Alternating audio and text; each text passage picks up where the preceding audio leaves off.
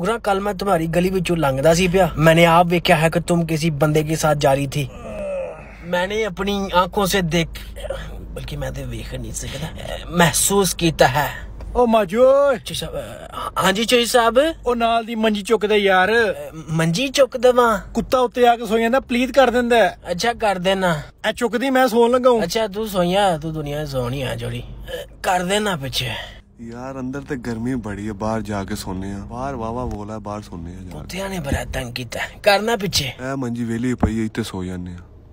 ਆ ਇੱਥੇ ਵਾਵਾ ਬੋਲਾ ਇੱਕ ਮੰਜੀ ਦੇ ਅੱਗੇ ਕੁੱਤਾ ਦੂਜੀ ਦੇ ਨਾ ਆਈ ਹੈ ਕੋਈ ਮੰਜੀ ਕਿੱਥੇ ਵੇ? ਐ ਐ ਲੱਗਦੀ ਐ। ਵੇਖਾ ਉੱਤੇ ਕੁੱਤਾ ਤੇ ਨਹੀਂ। ਉਹ ਕੁੱਤਾ ਤੇ ਉੱਤੇ ਆ ਗਿਆ। ਉੱਠ ਓਏ ਉੱਠ। ਉੱਠ ਜਾ ਤੈਨੂੰ ਮੈਂ ਕਹਿਣਾ ਉੱਠ ਜਾ। ਉੱਠ ਉੱਠ ਓਏ ਹੜ ਉਹ ਕਿਹੜਾ ਕੁੱਤਾ?